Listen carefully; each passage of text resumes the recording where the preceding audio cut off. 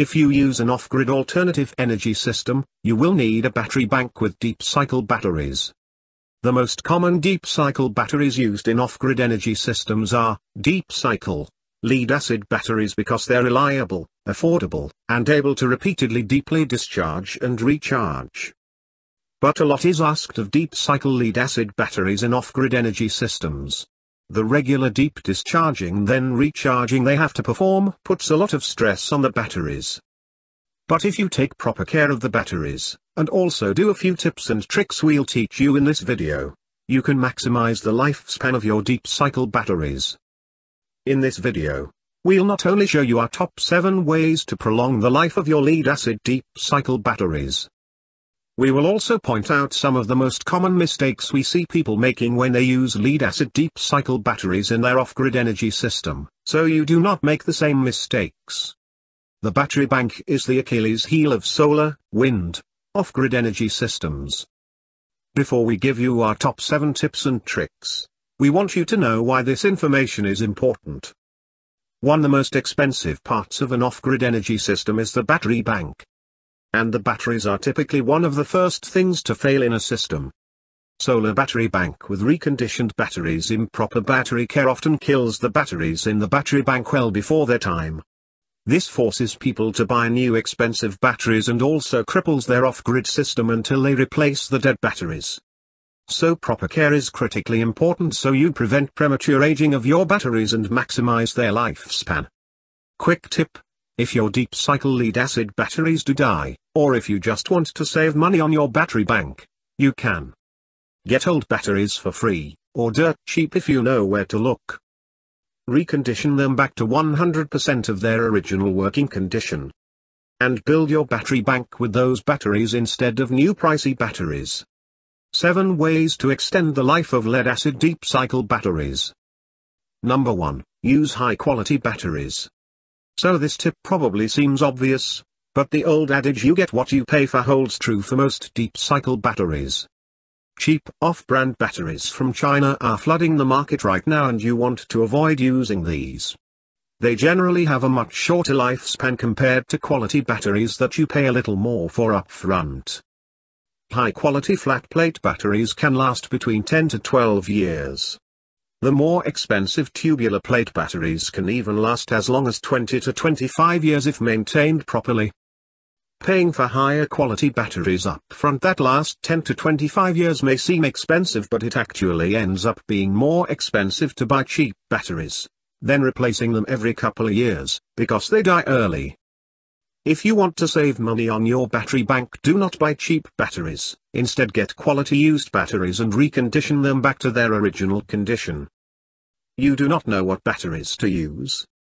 If you don't know what kind of batteries to get for your off-grid energy system, read our article about the three best batteries for off-grid energy systems. Number 2, proactively prevent corrosion.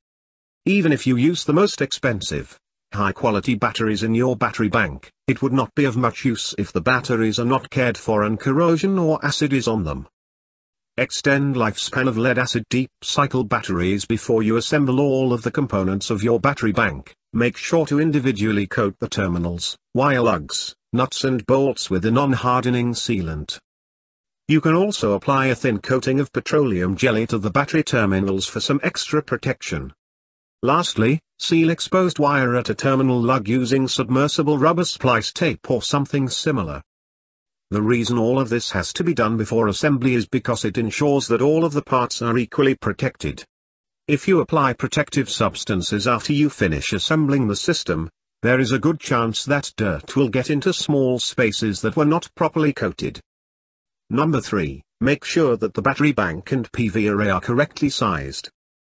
If you are using a solar panel or wind power system, you should make sure that your battery bank is big enough to carry 6 to 10 days of load. This ensures you will always have a nice backup supply of power. And you will also be able to use your batteries a little more gently so you do not have to consistently drain them. Number 4, fully charge the batteries every 3 weeks. Lead acid battery maintenance at the very least, make sure to fully charge your batteries every 3 weeks. This reduces corrosion on the inside and ensures equalization. Number 5, keep your batteries at an ideal temperature. Because temperature extremes cause batteries to deteriorate much faster, it is important that you keep your batteries in a place where the temperature is relatively stable. Aside from enclosed above-ground structures, you can also create a structure that is partially underground. This way the temperature in the structure will remain the same no matter what the weather is like outside. In addition, make sure that the charge controller or inverter system has a built-in temperature compensation feature. This is necessary because the charge voltage limit of a battery increases as temperature drops and decreases as temperatures increase. Number 6, do not install more than 3 parallel battery strings. Ideally, your battery bank should only be made up of a single series of cells. The more cells that are included, the higher the chance of there being random defects. There is also a greater chance of losing equalization, resulting in cells failing prematurely. If you can't stick to just a single series of cells in your battery bank, limit it to three parallel battery strings. Number 7. Install a renewable energy system digital monitor.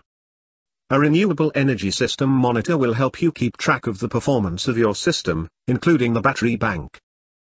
It will also help you troubleshoot any issue that comes up with your system so you can troubleshoot it before it turns into a bigger problem.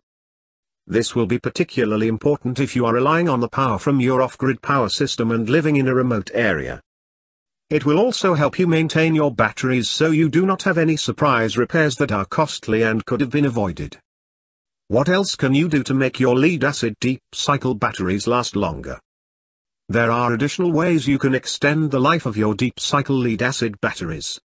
We cover all of these methods in the Easy Battery Reconditioning program. Reconditioning 12V Deep Cycle Lead-Acid Battery. Additionally, you can also bring old or dead lead-acid deep cycle batteries back to life again with the Easy Battery Reconditioning program. This will allow you to give your old batteries a second life so you do not have to buy new pricey batteries for your battery bank. Or you can even build an entire battery bank with used batteries that can get for free, or dirt cheap, that you recondition with our system.